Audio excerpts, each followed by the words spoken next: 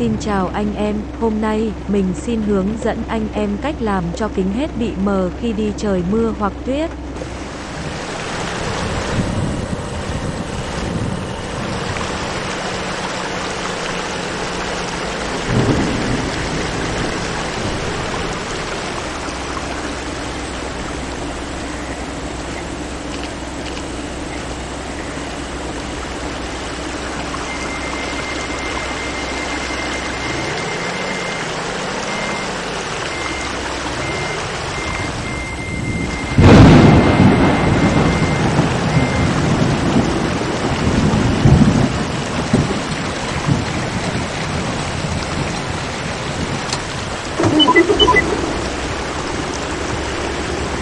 Started.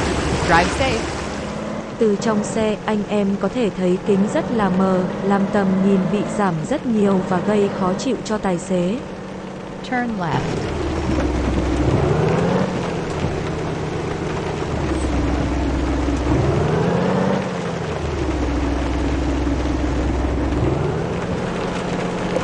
Đây là cách thực hiện, anh em xem và làm theo nhé. Đây là hệ thống điều hòa của xe, bên xanh là làm mát, bên đỏ là làm nóng. Trong trường hợp này, anh em chỉnh bên nóng để hơi ẩm trên kính được bay hết nhé. Mình thử chỉnh bên làm mát để coi kết quả ra sao nha.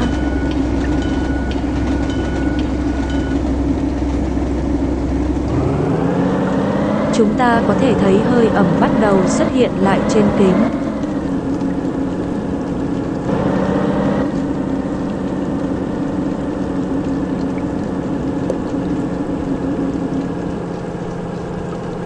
Và khi tắt, kính bắt đầu mờ dần như lúc ban đầu.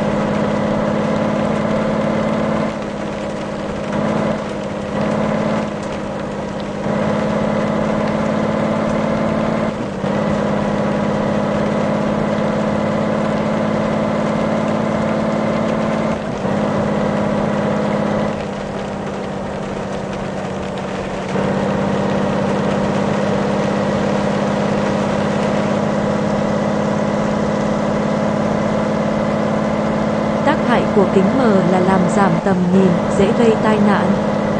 Và mình đã bị đâm vào chốt thu tiền.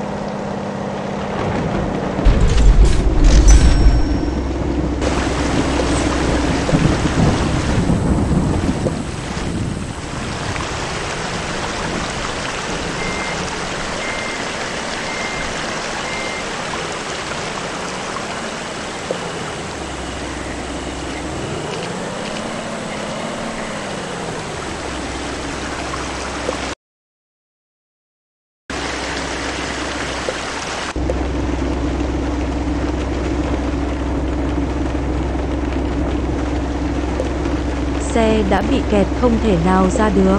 Nên anh em phải bật điều hòa để làm kính được trong suốt chặng đường nhé.